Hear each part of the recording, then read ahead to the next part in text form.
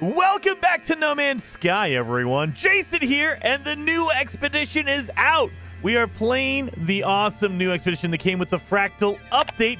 Just came out on Wednesday, so let me show you how to start a brand new expedition. So you're going to want to go to a new game. You have to start a new game. You can't do it from a existing save.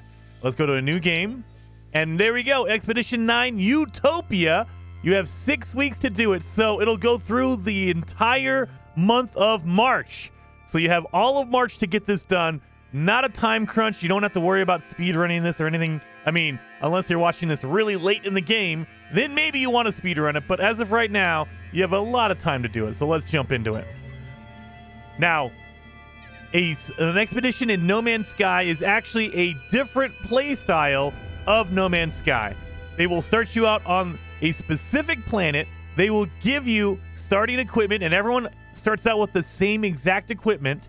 And they will give you special objectives that you have to do during the course of the expedition. And as you complete these objectives, you will earn rewards that you can use on any of your other saves, which is really, really awesome.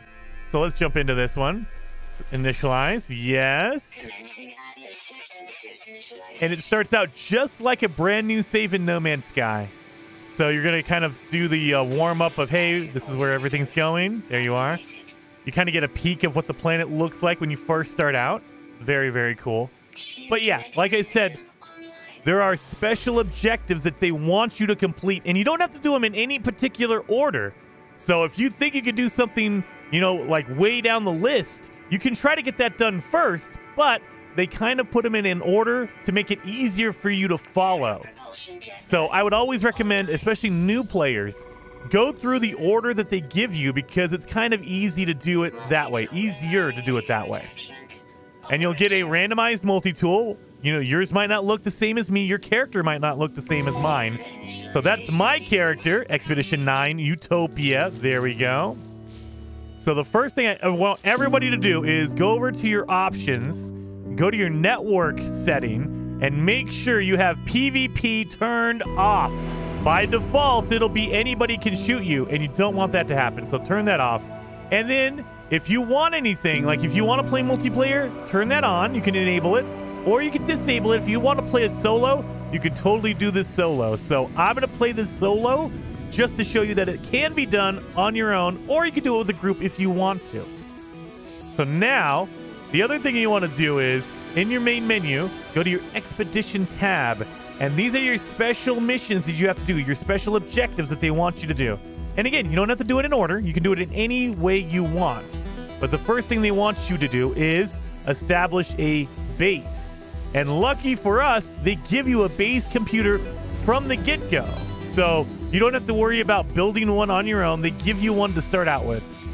So let's build one right over here. So in order to build your base, you're going to need to go up on your D-pad, press the up on your D-pad, and it'll bring up your, your building menu. Hit the base computer, select that, and now you can put it anywhere you want. So we're going to put it down right there. Oh yeah, listen to that music. Then once you have it placed, you need to claim the area you're in. So searching Utopia Foundation Settlement Archives. Utopia Archives reveals no prior settlement attempts on this site.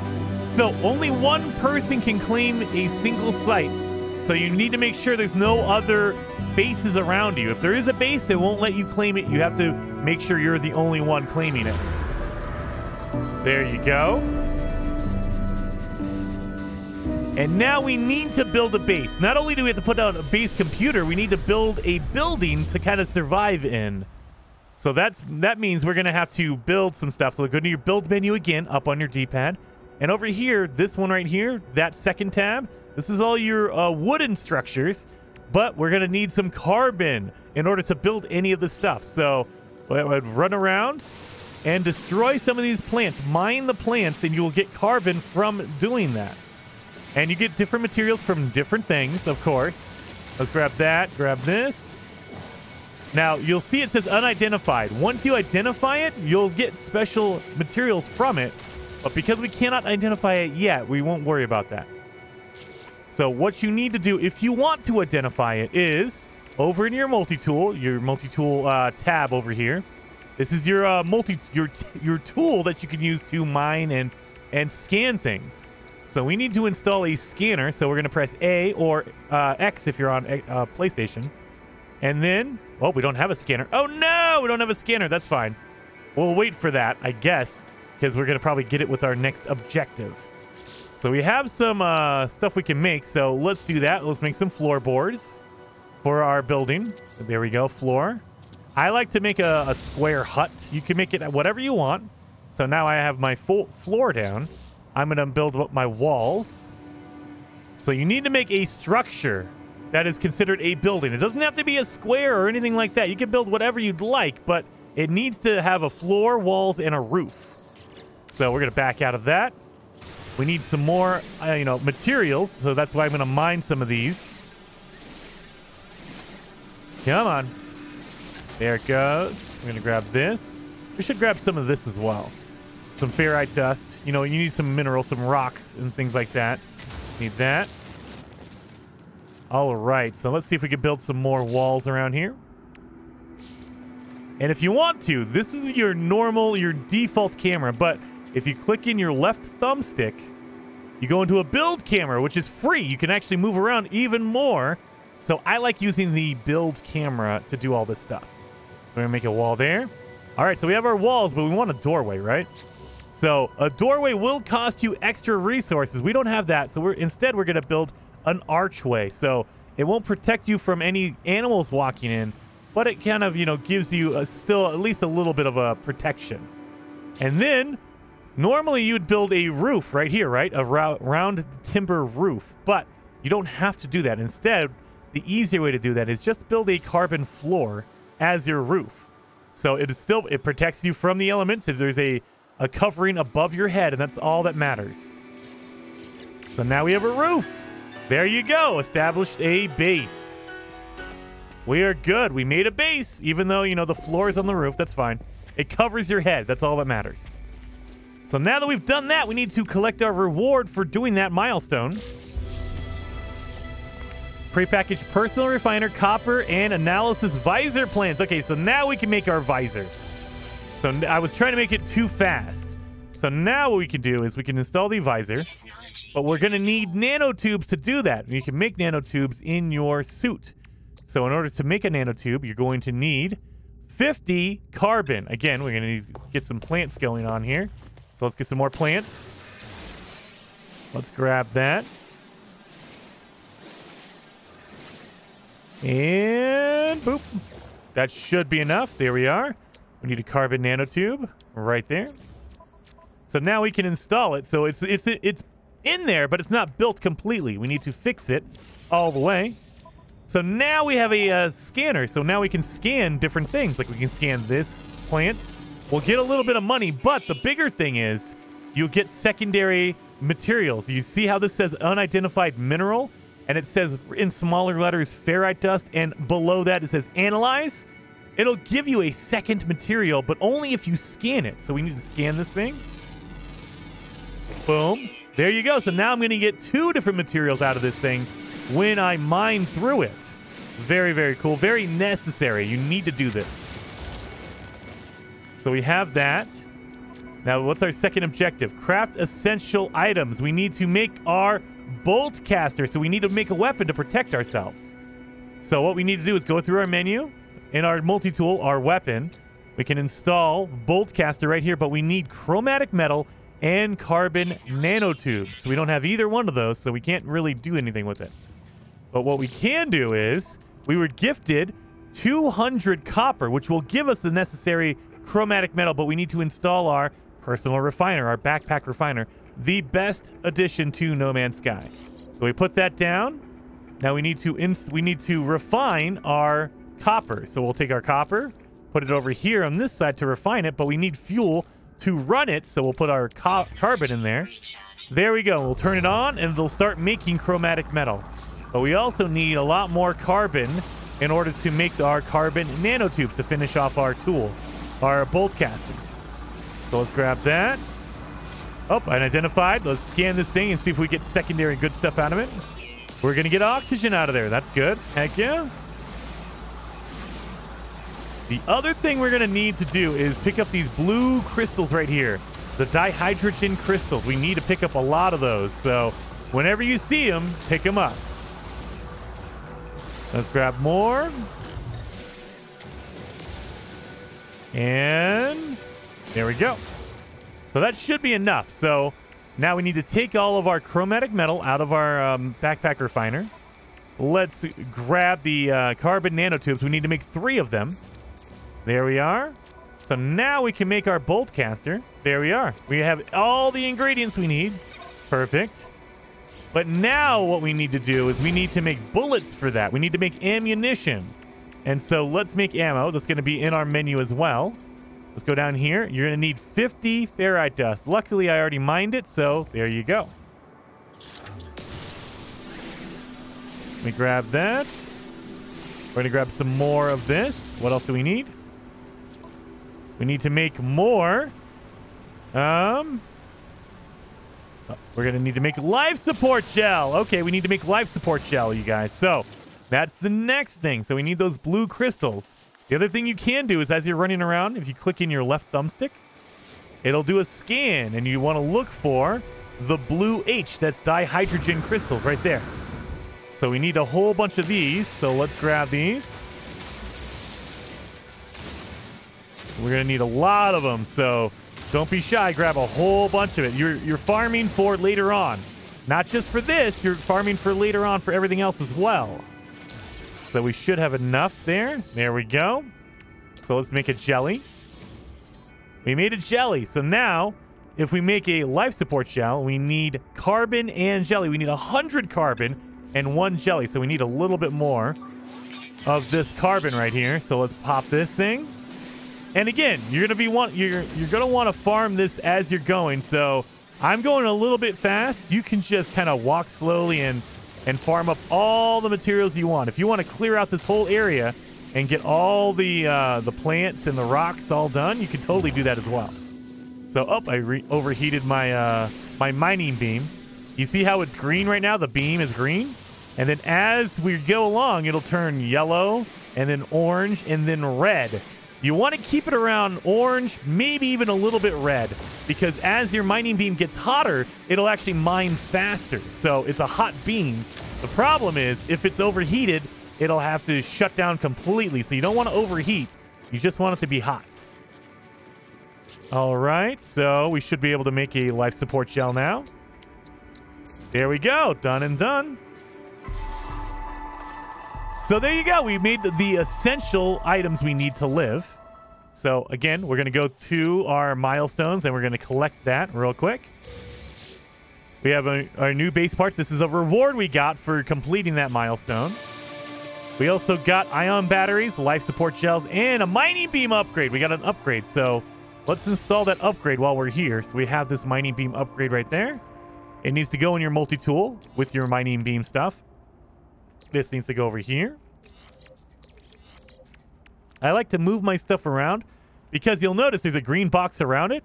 If I move it down here, and if you want to move anything, you press X on uh, Xbox controller or square if you're on PlayStation. You have to just use X and it'll pick it up and you can put it wherever you want in your multi-tool. But you want these similar items to be linked together. So I want my mining beam to be next to my mining beam upgrade. So there you go. That's why there's a green square. That's how you know you're getting a little bit of a bonus because they're all adjacent. They're all connected. So you want to do that. Now our next one is going to be upload the base to uh, Utopia. So now that we have a base, we need to upload it into the servers in order to complete this milestone. So what you can do is you can rename your bases if you want to. So if you click on the pencil, you can name it whatever you want. Jason base number one. And then you need to come down here and upload the base. That way everyone else can see it in multiplayer. So now if you come to this exact part of the planet, you'll see Jason base number one right here. Very, very cool. And so we did that. We got our milestone done. Let's grab that. So we got paraffinium, we got a prepackaged advanced mining laser, and geobays. We got our exocraft units right here. So there you go. And now our next one is to deploy an exocraft. We just got those blueprints, so up on your build menu, press up on your D-pad, and you can choose whichever one you want. So we have that. Uh, oh, actually, we can't do the Pilgrim Bay because we need other materials for that. But we can make the uh, Colossus Geobay or the Nomad Geobay. I like the Nomad one, but we're going to need some metal plating. Again, we're going to need a lot more materials, so let's grab these rocks. We're going to need ferrite dust. Let's grab that. Let's grab... Oh, wait a minute. That's a rock. Oh, God. That's a living crab guy. Okay, we don't want to do that. But we'll grab all these ones. And so I'm going to mine and get a whole bunch of materials. So I'm going to give you guys, a, or give me a minute, and I'll be right back. All right, guys, I've mined a lot, but I realized I got a, a, a, reward I didn't use. So we got an advanced mining laser upgrade. I did never installed it, so we need to do that. Let's install it up here because the advanced mining laser will let you mine the more hardcore stuff like this pure ferrite right here. This rock I normally wouldn't be able to mine, but because I have an advanced mining laser, it'll give me pure ferrite and I'll be able to mine it with it. So that's why you want to install and check all of your rewards whenever you uh, complete a milestone. You gotta pay attention. I was not paying attention to that at all. All right, so now we're gonna need some metal plating. So you need to be close to your computer in order to do this because let me show you what happens if you're not close enough. If you're too far away from your base, it will not let you construct any items. So we're all the way out here. This should be far enough. Let's go a little bit farther just to make sure we're doubly out here. So if I try to build anything, like I need metal plating, right? If I try to build a metal plating, oh man, I'm too, I'm still close enough. Okay, am I still 300?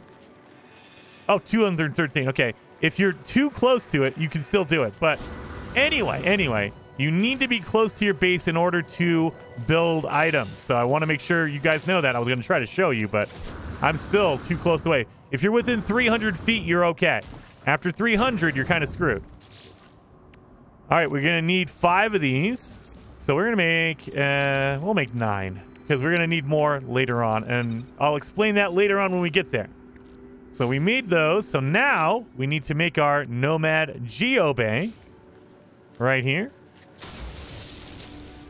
There we are. So I'm going to get in my Nomad.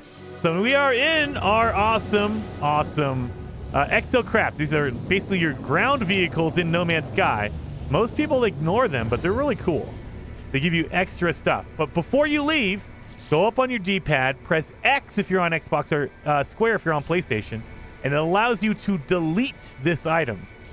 If you delete it, you get back all your materials and you keep your uh, Nomad. Look at that. Boom. That'll let us build that uh, platform anywhere we want. So you want to you want to do that so you can build it later on. All right, so now we know how to make a hermetic seal, and we we got some other materials. We also got an upgrade for our exocraft, condensed carbon, and powerful movement upgrade. So before we go anywhere, I'm gonna put my jetpack upgrade. Well, let's number one. We're gonna move our hazard protection. We're gonna put our jetpack upgrade next to the other jetpack Again, you want to put uh, similar upgrades together. We also have the engine upgrade for our uh, exocraft. So let's put that here. And you see these like colored squares? These are supercharged slots. So if you want to, you want to make sure they're all, you know, being used. So right now, let me show you what that does. Fuel usage is down 19% and top speed is increased by 13%, right? But if you put it in a supercharged slot, that jumps up. So now 35 and 41%. That's why you want to do that. That that really helps you out. So you definitely want to use these supercharged slots if you can. So the other thing we want to do is we have metal plating. We have we need to make our hermetic seal since we're at our base. Make that hermetic seal. We also need to make some dihydrogen uh, jellies. We're going to make a whole bunch of those. And now we should be okay. We should be okay with all this stuff now. So now what we're going to do is we need to go locate and repair our starship. So if you look around, you'll see your starship notification. Oh, right over there. That's our starship, seven minutes away. But if we get in our vehicle, it'll be even faster. So now we're going to be driving. Now we're only two minutes away because your vehicle, your exocraft, can actually drive faster or go faster than you can on foot. So let's head on over here. And a lot of people, they don't use their exocraft I don't know why. I mean, I generally don't because I have a ship. And I mean, maybe that's the point they want to do in this expedition. They want to show that the exocraft are really, really cool. But you want to use this because we need to go a certain distance in an exocraft. So let's keep going over here. But yeah, so you can also upgrade your exocraft. You can add a laser. That way you can mine while you're in here. You can upgrade the speed. Like I only have one upgrade on there and it's going pretty fast. You can add a whole bunch of upgrades to speed this thing up so it goes crazy fast. So theoretically, and then also later on in the game, not in the expedition, but in the game, you can also get upgrades for your freighter so you can call in your exocraft anywhere you are. You don't have to worry about putting down the platform. Now, in this expedition, they don't let you have a freighter, so you can't really do that. But in the main game, once you get a freighter, you can get upgrades to allow you to call in any exocraft anywhere you want, which is really, really cool. All right, travel 2,000 feet by exocraft. That's what we wanted. And we got right to our ship. That's freaking awesome. We timed that perfectly, you guys. So now we're here, right? The thing is, like, watch this. If I wanted to fix my, my ship, I would have to make a metal plating, right?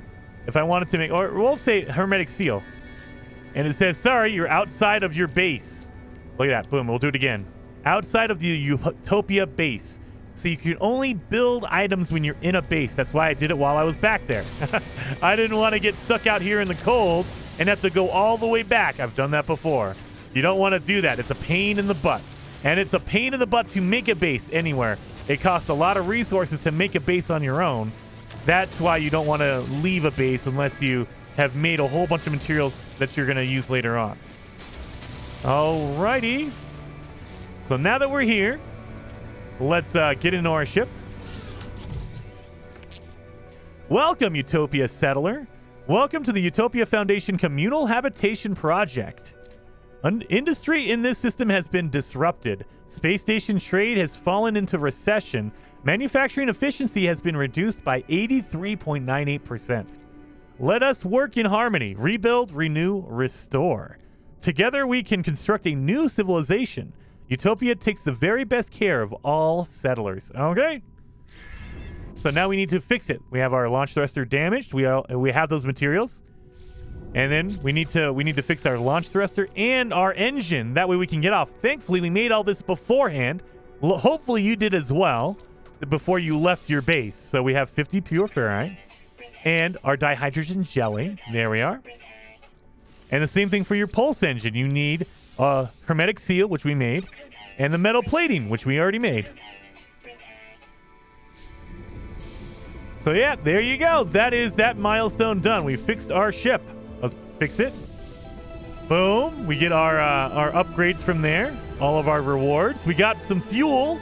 There we are. But we also we also traveled 2,000 feet in our exocraft, so we got that one done.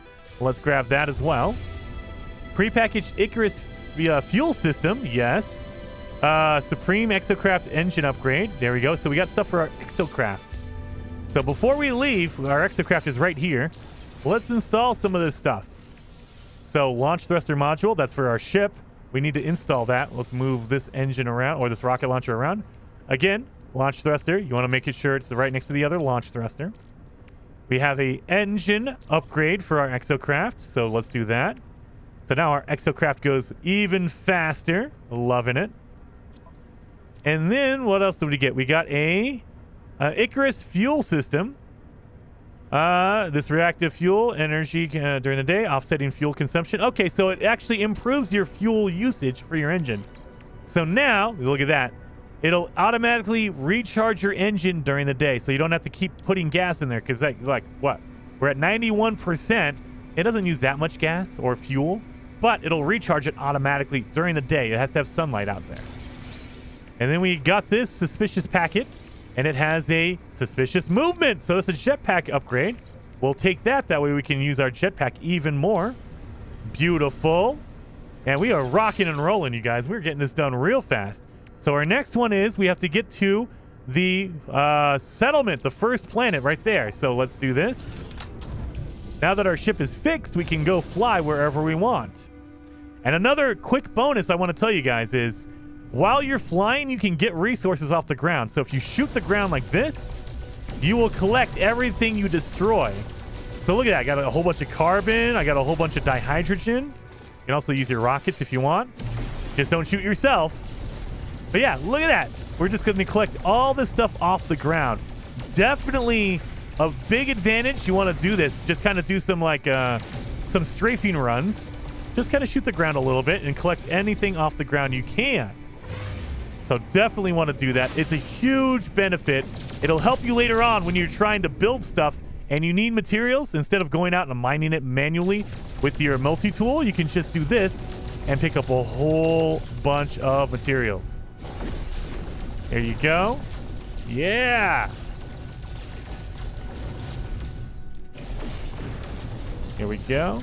And we can check. It's all in our uh, in our sh our ship inventory.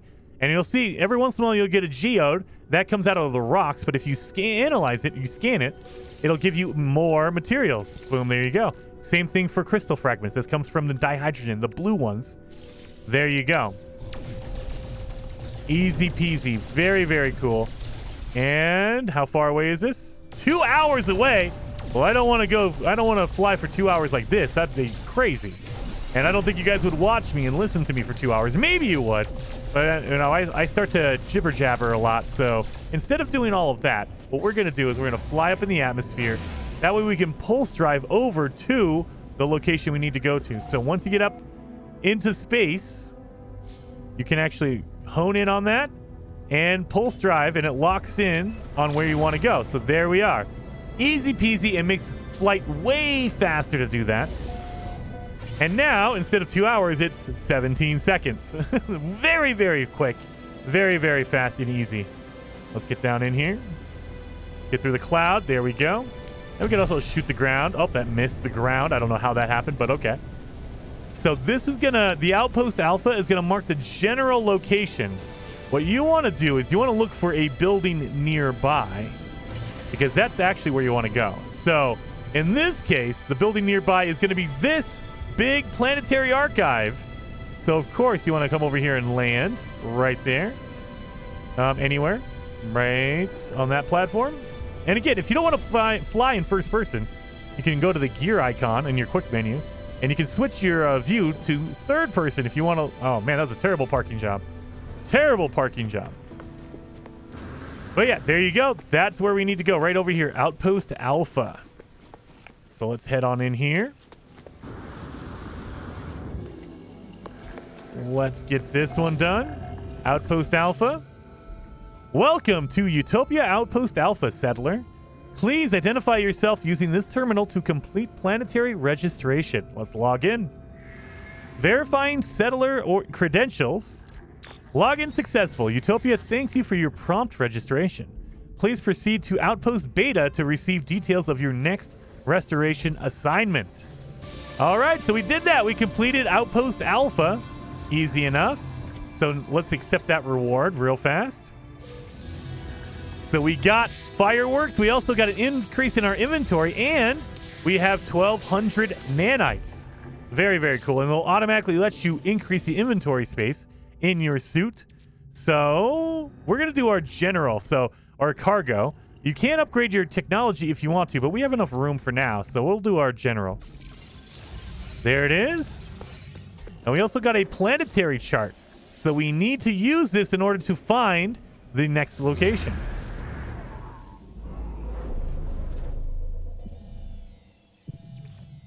There we go. Ancient ruin site detected. So we have that. Easy enough. Oh, wait a minute. We have to we have to accept our reward. So as you complete the phase, like we completed all the milestones in this phase, you'll get a phase reward. The first phase is going to be posters. That way when you build a base, you can put posters up. Very, very cool. There we go. Done and done. And then if you go to phase two, we have to go to second outpost beta right there. Outpost beta right there.